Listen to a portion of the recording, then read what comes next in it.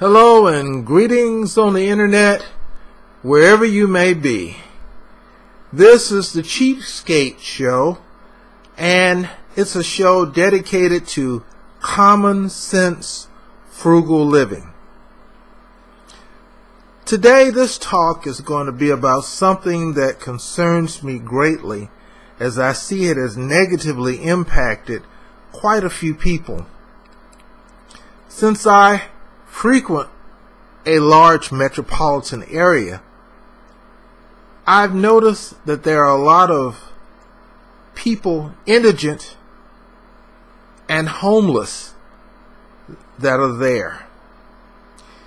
And even though this is supposed to be a cheapskate and frugal type show, I must address the point that sometimes people who are non frugal and are carefree with their money are moved into this classification of people because of their reckless conduct and living way above their means and not having the correct information to help them move beyond that and recover from their their problems. I see a lot of panhandlers in the city and a lot of homeless people. These people are in bad shape. And I know that some of them are there under no fault of their own, and some of them are there because of bad decisions. And then again, there's some that are there because they're perpetrating and they're just operating a scam. I'm quite sure you've probably seen, and I call them the pros. You could be someplace and you can see them looking at you, and they can see, and you can see them size you up, and then they want to they're deciding on whether or not they're going to ask you for something. You just have to position yourself away from these people because nine times out of ten, they have more money in their pocket than you do. They aren't the real people who truly need help, and they give the true unfortunate people a bad name by running a scam.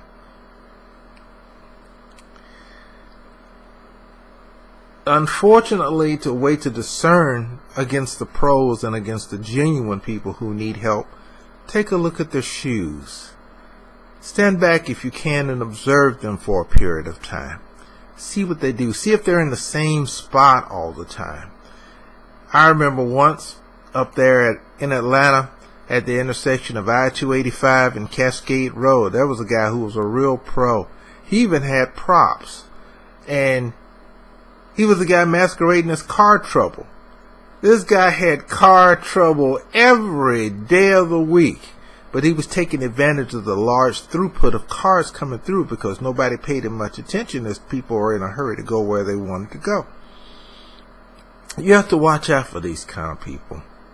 The major thing you want to do, and I'm going to quit talking about the, the bad folk, and I'm going to talk about the good people who are just caught in that situation.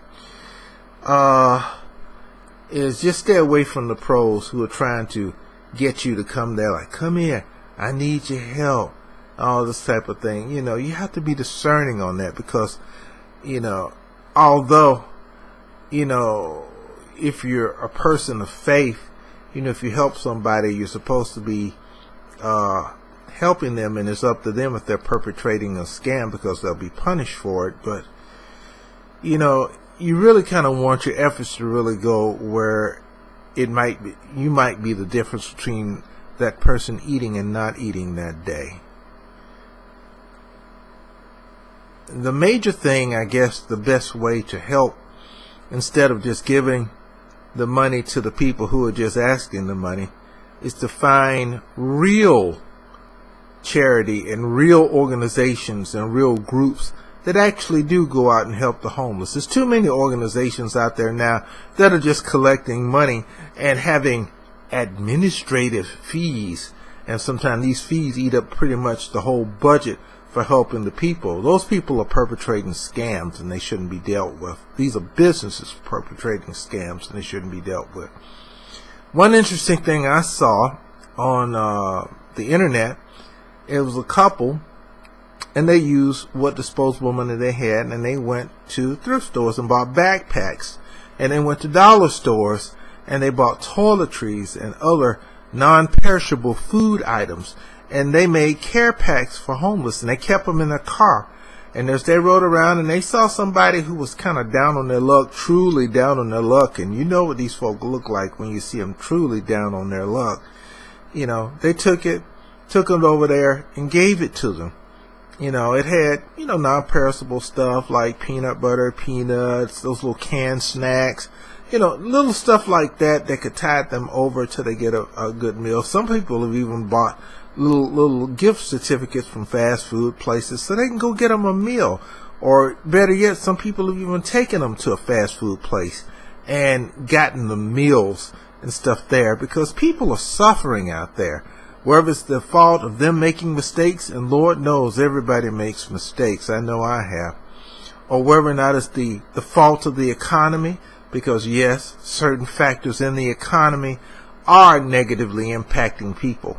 Whereas a certain faction thinks that they should go free and not have to pay any taxes, and other people should pay all the taxes. You know, it, it, it's just really messed up here. The thing that you really need to do is try to alleviate the pain and the suffering of those who are truly less fortunate from it, no matter how they got there, because I think I said in one of my previous videos, things may be going well for you today, but tomorrow things may be not going so good for you, and you may need the assistance of somebody or some organization that's out there, like true food pantries. And you know, you might be might be in a position where you have to go get public assistance or food stamps or any other type of assistance or medical assistance. You know, it's it's things are really, you know, bad out there for a large portion of the population. But um a few things by helping those who are truly in need, like the guy who's sleeping under a bridge sleeping in the park, sleeping on a bench, you know, sleeping in a box. In these days and times and in this country, you know, this country's too wealthy to let people be in this position. And the regular population of this country is too spoiled and they make petty and snap judgments against people when they could just as easily be in that position themselves. I forget who it was that said this, but they said that most of us are only one or two paychecks away from being homelessness and being uh, in bad shape. Does this fit you? I'm quite sure it fits most of the people who are listening to me now. I don't mean this to be a downer, but this is just kind of like a reality check. I talk about how to be frugal and how to be cheap to help save you from a lot of the problems and the pitfalls of this rampant consumerism that exists in our society, where it's just too many people who like to keep up with the Joneses, have the latest car, have the, the, the, the expensive shoes on their feet, uh, have the latest threads on their behinds. I mean, it, it's, it's madness because all this stuff really is meaningless, but people judge people's character by the clothing the clo- the clothing, the housing, the cars that people drive. Does that really make sense to you? Instead of looking at what type of person that they really are? I'll give you an example. The first house that I ever bought in Atlanta was in a subdivision. It was a big mistake buying in that subdivision. But then again, maybe it was a mistake, but it was also an education. I got a chance to see truly how class conscious people really were in there. I bought, I built the house new, and it was from a builder that had two classifications of houses. One was called the 1600, 1600 series house, and it was a big, big, big fancy house. Uh, that was, you know, maxed out. That was the favorite word back then. Maxed out. And then there was the 800 series house, which was a scaled down version of the house. The same house. It didn't cost as much and it wasn't quite as big. This created a class war in the subdivision. You know, the people at the 1600 series houses thought they were better than everybody else. And the people with the 800 series houses, we were the low life. And trust me, I had an 800 series house. It was a nice house, very nice house, very well built. You know, even though it had problems, it was pretty well built. And the people there acted ridiculous. The neighborhood didn't have a neighborhood association, but they wanted to have one put in. And of course, this was so that the people in the 1600 series houses could go around and dictate to the other people how things were. We had the stereotypical housewives in the station wagons roving around to see who was in conformity or in nonconformity to the so-called new agreed upon association rules. I remember it was Halloween and I had Halloween decorations out for my kids. And I lived in a half cul-de-sac. And I had typical Halloween decorations. I had a couple of bales of hay, a scarecrow, and some stalks out there. They made a snide comment at the homeowners meeting. No bales of hay in the subdivision. I mean, these people thought that they were real high-end folks. They were, they were maxed out to the hilt. They followed the pure definition of the twenty and twenty-five thousand dollar millionaire. They knew they were barely holding on by the skin of their teeth, but at the same time, they tried to have the appearance that they were doing so well.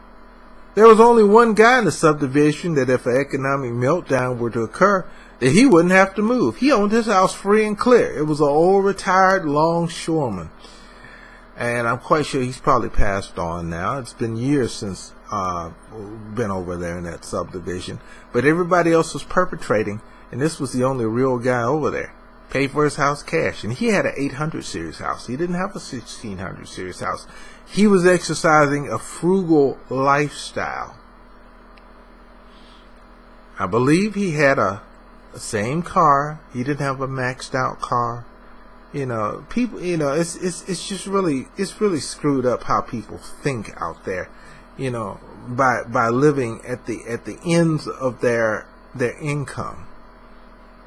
You know, you need to be able to govern yourselves properly when you handle your finances and be careful about who you indebt yourself to. There's a biblical phrase out there and I can't and I'm not going to even begin to try to to to to quote it but it likens debt to being enslaved because you're at the mercy of your debtor. This is so true. You need to consider this as you go out and go embark into rampant consumerism because you will be pretty much like the guy who lives in the box or lives on the bench or lives under the viaduct on the bridge if you don't govern your finances appropriately. Don't try to keep up with the Joneses. Use common sense when you go out and buy and don't try to spend all of the money you have. Go and keep some in reserve and don't go out and go keep up with the Joneses. The Joneses are fools. Take care of yourself and take care of your family. These things are important not trying to keep an, up an appearance to impress those who don't give a damn about you anyway and would pass over you if you were lying in the street and in need of help. Well, this is my societal rant for the day. If this is giving you pause for thought and pause to think, please like and share this video. And also, and as always, as I say in most of my videos, go up to the top of your video and where you see http colon forward slash forward slash highlight and copy that and paste it to Facebook, Instagram, uh, all the social media sites that are out there. And uh, post a message and say, here's something to think about while you think that you are so high and mighty. Remember, and I think, and I, I'm not going to quote this either, but there's something that says, there you are, but for the grace of God. You know, nothing is guaranteed to anyone out there. Good things and bad things can happen to anyone. So if you see someone who is down on their luck, don't berate them. Don't make them feel lower than low because tomorrow you could be in that same position. Thanks for watching and please listen to our channel as we try to have positive, upbeat messages on how to be frugal and be cheap and not spend all your money so you won't be in bad shape. See you next time.